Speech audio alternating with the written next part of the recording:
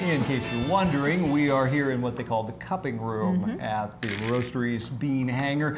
It's actually in here that they've come up with so many of those great blends that they're so well known for. Yes. Great songwriting is one way artists can express themselves. Poetry is another. In fact, here on The Upload, we really like to showcase some of the area's premier poets performing their work. Here's Alyssa Bennett Smith, co-slam master of the Poetic Underground's Pound Slam at the Uptown Arts Bar. The poem's called Manifest Destiny.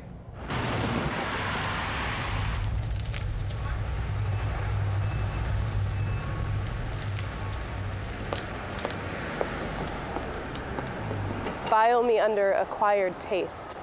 Too thin for some and too thick for most.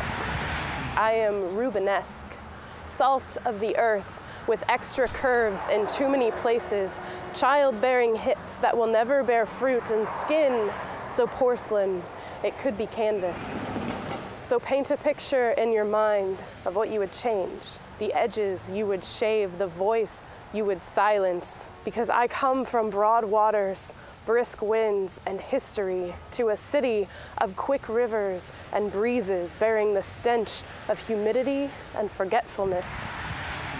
Your waters are shallow, your current weak, and I have not the patience to wade when I am accustomed to diving into the depths, feeling the sun on my canvas flesh and having plenty of space to grow. Outside your dotted lines, that help you understand that which is beyond your reach. By enforcing parameters, restrictions, toned definitions of what you will accept as yours. So go ahead, file me under acquired taste. It may help you realize that some things are not yours to acquire.